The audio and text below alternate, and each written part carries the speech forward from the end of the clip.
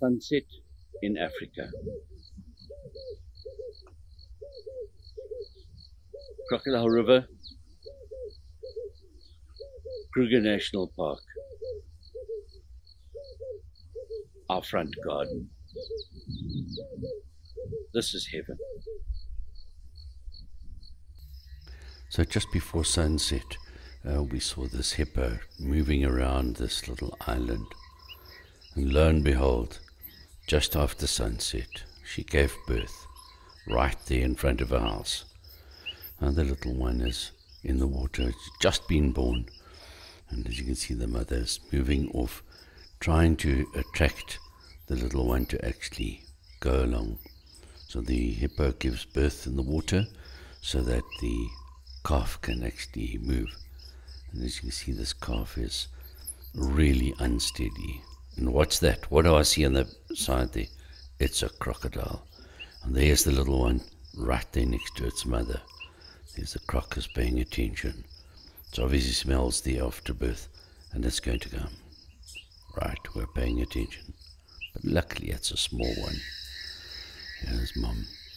She's now trying to get her and there's some fishes coming to eat afterbirth. There you can see just to the right of the baby. So mum walks around her, trying to get her to move to the safety of the little island that she was. And she lies down, and she does that a couple of times. And we're not sure if that's to try to get the little one to feed or to actually protect it from the water. We saw later on where she actually lies down in the water stream and blocks the water from flowing so that the calf can get into the protected harbour, so to speak. This calf has no clue. Is anything else going to come along? My goodness. What all the waterbuck looked at looking at. It's actually a lion. A lion is in the top right hand corner. Now the hippo doesn't really like all these waterbucks so close. Uh, let's give them a chase and chase them away. And there's the lion. Oh, and the waterbuck goes scattering off. The lion, luckily, can't get across the water. The lion don't want to come. So here we have a crocodile in the water, a lion on the bank. Is the little calf going to make it till sunrise? We don't know.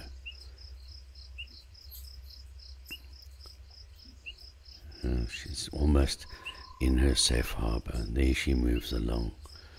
Hopefully, she's going to make it. Oh, there, here she goes. The mama's walking along.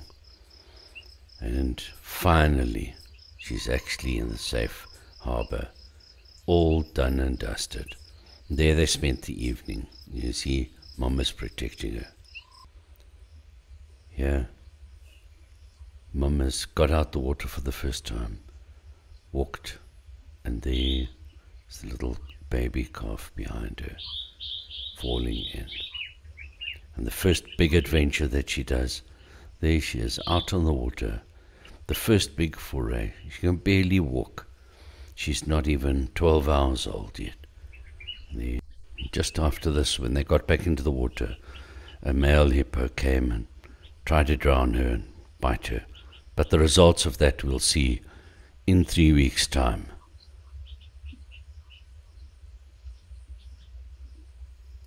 So the hippo pitched here again three weeks later, and I see that she has a calf with her, or a calf here. Um, the calf has a badly damaged left rear leg. I'm not sure as I've mentioned earlier on, whether or not she's going to make it. But let's see. They're in the shallow waters here. They're on the islands.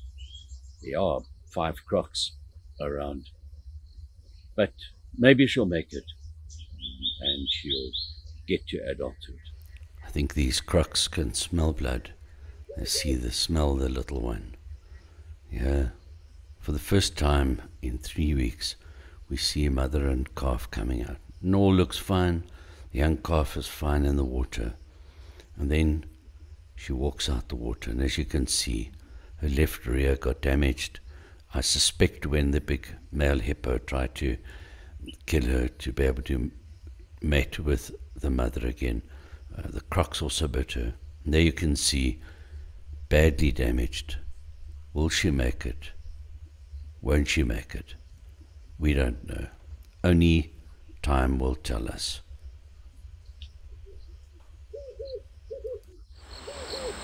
Sun just setting. Hippo has exited the water with her calf only just making it out the water. Other hippos have come up. The crocs that we had just now gone back into the water. And it's sunset on another day in Africa. Let's wait until tomorrow. Let's see what that brings us.